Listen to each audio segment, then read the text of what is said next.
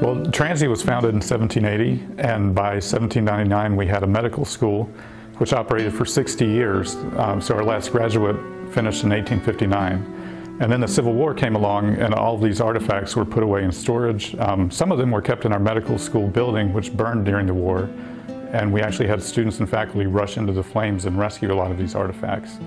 Um, so they have a, a great history. Um, after the war, they were put away in storage again and not discovered till roughly the, 18, the 1920s. And by that time they were antique and they were recognized for their historic value as well as their scientific value. Correct formal education you could get from Transy would be two years of study. And they did have summer breaks, but, uh, and they were fairly short semesters.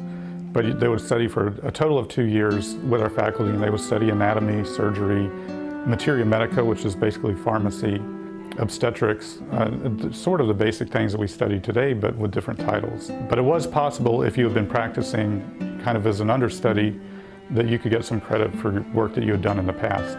But we know that other people claimed that they, they had a Transy degree, and people probably just didn't check if you were a doctor in the wilderness or the, some rough area in Kentucky and said you went to Transylvania and you were dressed right, people probably believed you. We were the third medical school in the country, and at times we were as well equipped as any school in the country. It was always a problem that there were people in the country, even in the city, who were practicing medicine who didn't really know what they were doing. And also pharmacy was a very unregulated thing at the time, so people could make up their own medicines with all kinds of horrible compounds in them and sell them from the back of a wagon, make a lot of money and then skip town, for example, or practice as a physician in a small rural community and really have no training.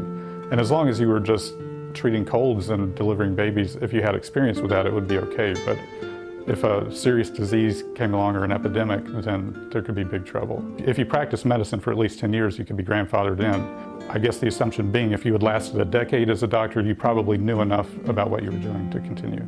If you got caught and if your community complained, then you would be tried. You could be sentenced up to 30 days in prison. You could be fined $100, which was a decent chunk of money back then. Even for quack physicians, that was a lot of money. If you were decent at what you did, most communities didn't complain. So th this act was set up to protect the community from uh, the whole state of Kentucky from charlatans and quacks.